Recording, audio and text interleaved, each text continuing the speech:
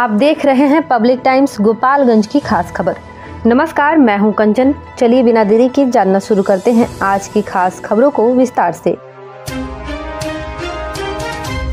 गोपालगंज में आगामी होने वाले दुर्गा पूजा को लेकर शहर के विभिन्न चौक चौराहों पर बनने वाले पूजा पंडाल को लेकर पुलिस ने पूजा समिति के लोगों के साथ एक बैठक की। बैठक के दौरान कई महत्वपूर्ण बिंदुओं पर चर्चा की गई। इस दौरान सदर एसडीपीओ प्रांजल ने पूजा समिति के लोगों से अपील की कि दुर्गा पूजा को लेकर सड़क के किनारे या सड़क के बीच में पंडाल का निर्माण न करें, ताकि लोगों को कोई आवागमन में समस्या न हो। साथ ही उन्होंने कहा कि पूजा को लेकर लाइसेंस प्राप्त कर लें। दरअसल आगामी स्थापित होने वाले पूजा पंडाल में माँ दुर्गा की प्रतिमा की स्थापना कर तीन दिनों तक चलने वाले दशहरा मेला की तैयारी के पूर्व नगर थाना परिसर में सदर एसडीपीओ की अध्यक्षता में बैठक की गई बैठक के दौरान सदर एस प्रांजल ने कहा कि दुर्गा पूजा समिति के सदस्यों से अपील है कि पूजा पंडाल को सड़क के किनारे स्थापित नहीं करें। सड़क से पूजा पंडाल की दूरी रहने से कई फ़ायदे होते हैं। इससे आवागमन बाधित नहीं होता है, साथ ही पूजा पंडाल में आने जाने वाले भक्तों को भी किसी प्रकार की कोई परेशानी नहीं होती है। पूजा पंडाल की स्थापना करने वाले समिति के सदस्य लाइसेंस ज़रूर ले लेंगे। साथ ही भीड़ को देखते हुए सड़क पर किसी भी प्रकार का कोई लाइट लगाकर उसे बाधित करने का कार्य नहीं करेंगे। सड़क बाधित होने पर भी भीड़ में लोगों को परेशानी होती है। इसलिए सभी पूजा समिति के सदस्य इसका खास ख्याल रखेंगे।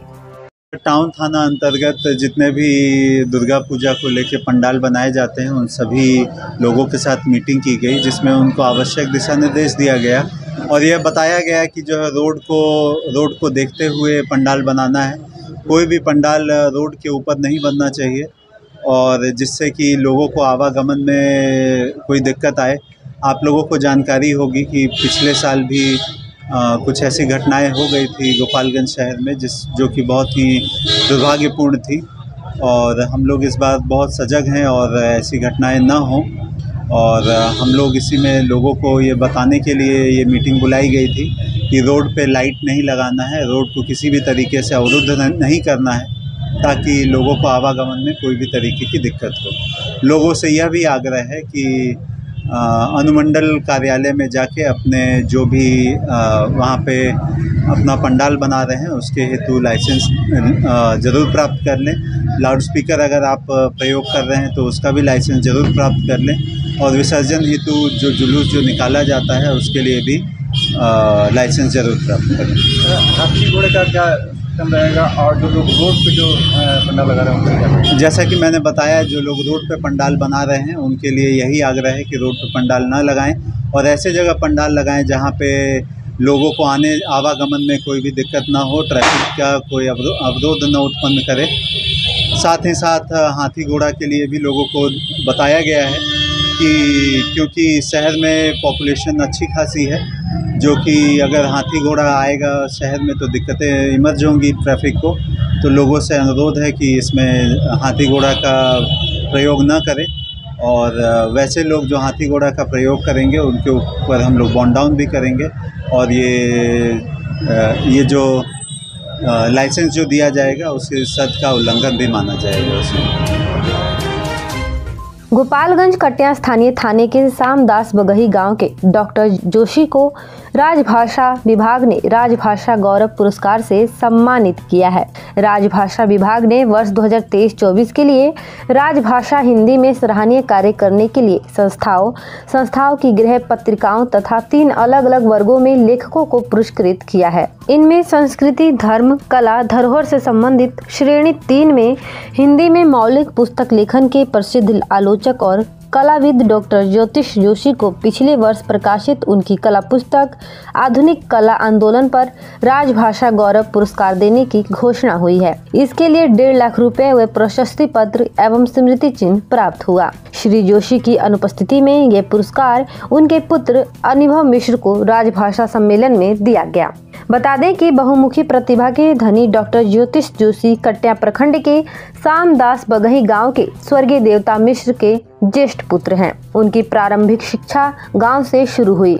हथुआ से स्नातक की डिग्री लेने के बाद वे दिल्ली चले गए। दिल्ली विश्वविद्यालय से हिंदी से एमए की पढ़ाई करने के बाद जवाहर नेहरू विश्वविद्यालय से एम फिल एवं पीएचडी की डिग्री हासिल कर ली। कुछ दिनों तक इन्होंने प्रख्यात समालोचक डॉक्टर मैनेजर पांडे का भी सानिध्य मिला। कुछ दिनों तक इन्हें प्रख्यात समालोचक डॉक्टर मैनेजर पांडे का भी सानिध्य मिला। साहित्य, पत्रकारिता, कला, आलोचना और विचार आदि पर विपुल लेखन के साथ साथ उन्होंने कविता और कथा साहित्य में भी उल्लेखनीय कार्य किया है। उनके दो उपन्यास प्रकाशित हैं, सोन बरसा सन 2000 एवं समय की रेत पर 2023 दोनों ही उपन्यास बिहार से केंद्रित हैं। हिंदी में उनकी 27 मौलिक पुस्तकें हैं। इनकी इस उपलब्धि से क्षेत्र के लोगों ने बधाइयाँ दी हैं। बधाई देने वालों में मुख्य रूप से Shambhunath Dubey ji, Jitendra Dubey, Vinay Tiwari, Ravindra Mishra B N Tiwari, doctor Ashok Gupta, Dinesh Mishra, Ashok Mishra इत्यादि लोग शामिल हैं।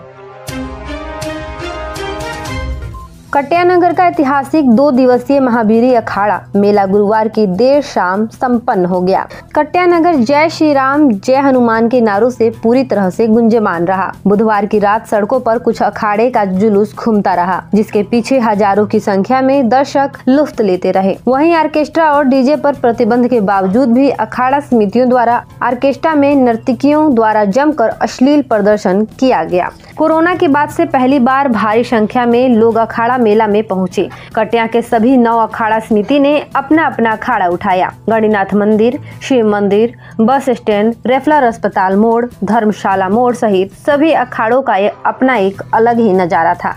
सभी अखाड़े के युवा अपने अपने कर्तव्य कलाबाजी भी दिखा रहे थे। इस बार सभी अखाड़े के युवा सदस्यों के द्वारा ऐसी व्यवस्था की गई थी कि दूर दराज से आए दर्शकों को कोई परेशानी न हो। कलाकारों के द्वारा बारी बारी से पुराने गाने से लेकर नए गानों पर प्रदर्शन किया गया। तो वहीं भोजपुरी अश्लील गाना भी जमकर बजाया गया। बुधवार की देर रात से उठे अखाड़ा जुलूस गुरुवार की सुबह तक रंगारंग कार्यक्रम प्रस्तुत करते रहे। वहीं गुरुवार को भी दोपहर के बाद से मेला का आयोजन किया गया। इस दौरान सभी चौक चौराहों पर पुलिस बल की तैनाती रही।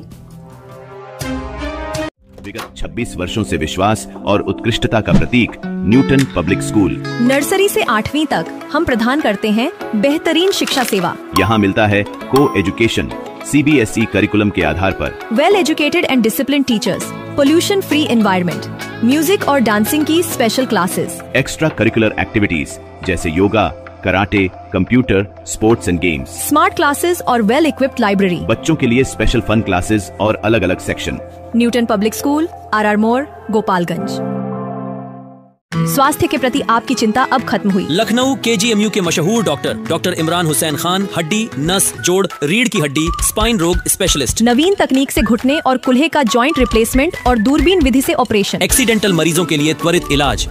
डॉक्टर सुफिया शादाब स्त्री प्रसूति एवं बांझपन रोग विशेषज्ञ। महिलाओं से जुड़ी सभी समस्याओं का सफल इलाज। नॉर्मल और सिजेरियन डिलीवरी में स्पेशलिस्ट। आज ही आएँ और बेहतरीन स्वास्थ्य सेवाओं का लाभ उठाएँ।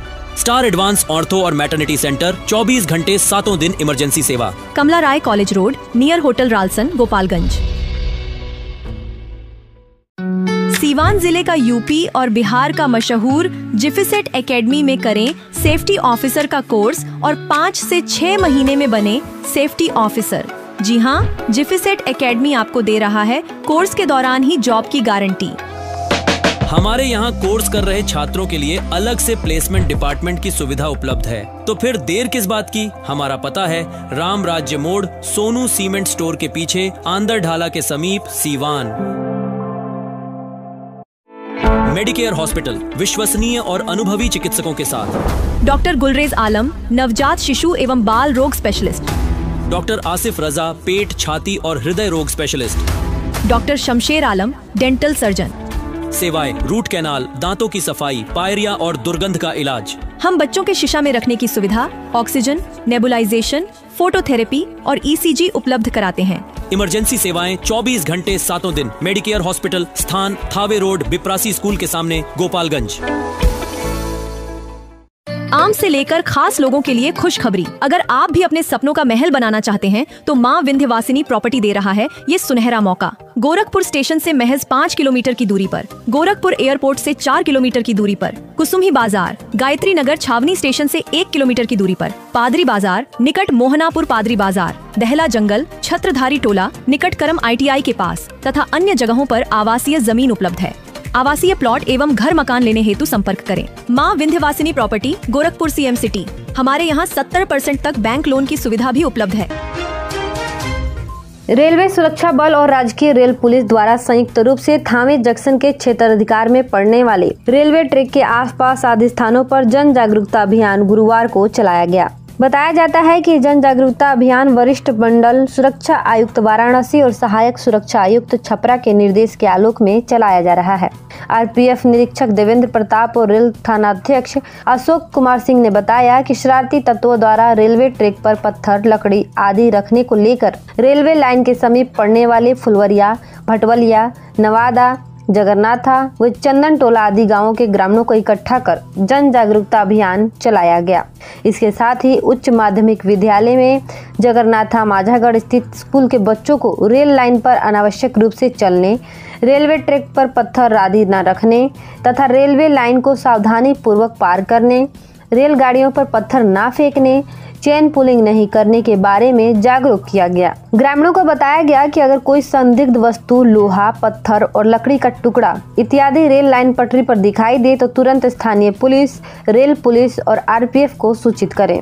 इस दौरान सुरक्षा हेल्पलाइन नंबर व पोस्ट का नंबर स्थानीय जनप्रतिनिधि, मुखिया व गणमान्य व्यक्तियों में संपर्क करते हुए संपर्कों का आदान प्रदान किया गया। जन जागरूकता अभियान के दौरान आरपीएफ और जीआरपी पुलिस मौजूद थे।